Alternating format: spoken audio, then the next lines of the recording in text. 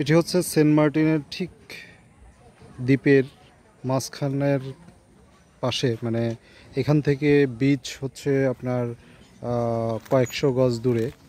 অথচ দেখেন এখানে যে হিউজ পরিমাণে বোতল রয়েছে, এখানে কি পরিমাণ যে আপনার নোংরা, আপনার কল্পনা করতে পারবেন না যে এখানে কি পরিমাণ নোংরা। হিউজ নোংরা। এখানে বোতল রয়েছে, প্লাস্টিকের বোতল রয়েছে, কাচের বোতল রয়েছে, তারপরে যে পলি পলিথিন রয়েছে, নারকেলের মানে ই রয়েছে, আপনার এই যে কি পরিমাণ দেখতে পাচ্ছেন? এটা যে কি পরিমাণ পরিবেশের জন্য খুবই ভয়াবহ অবস্থা এটা। এটা যদি ক্লিন না করা যায়, এটা যদি অপরিষ্কার থাকে তো সেন্ট মার্টিন আসলে সেন্ট মার্টিন থাকবে না। এটা সেন্ট মার্টিন শহরে পরিণত হবে। সেন্ট মার্টিন একটা দুর্গন্ধ শহরে পরিণত হবে। আপনাদেরকে আমি ঘুরে দেখাচ্ছি, দেখেন এই যে কী পরিমাণ অবস্থা।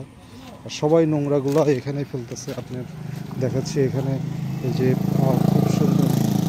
এই পাশেই বিচ এই যে ঠিক রাস্তার এই পাশেই। এখানে একশো গজ দূরে এই যে, আপনার এই পিছনে একশো গজ দূরেই আপনার হচ্ছে সেন্ট মার্টিন বিচ এখানে হোটেল, একদম নোংরা এই গন্ধ, অথচ এখানে দেখেন এই যে হোটেলগুলো চলতেছে। নোংরা গন্ধ, অথচ হোটেলগুলো চলতেছে দেখেন যে এখানে এসে। তো আপনাদেরকে দেখাচ্ছি যে নোংরা সেন্ট মার্টিনের আপনাদের সামনে তুলে ধরতেছি। আপনারা তো শুধু সৌন্দর্যটাকে দেখেন, সেন্ট মার্টিনের সৌন্দর্য। নোংরাটা দেখেন না। তো আপনাদেরকে নোংরা সেন্ট মার্টিন দেখাচ্ছি, দেখেন এই যে। এই যে দেখেন, এই যে। কী অবস্থা। এটা আমার মনে হয় যে ঢাকাতেও এরকম নোংরা হয় কিনা আমার জানা নেই। নোংরা এরকম। এর থেকে আছে, কিন্তু সেন্ট মার্টিনের মতো জায়গায় যে এরকম মানে নিষ্কাশনের কোনো ব্যবস্থা নেই।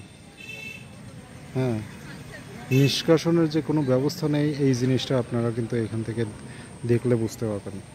কতটা নোংরা এখানে। পাশে কটেজ রয়েছে, বিভিন্ন রকম রিসোর্ট রয়েছে।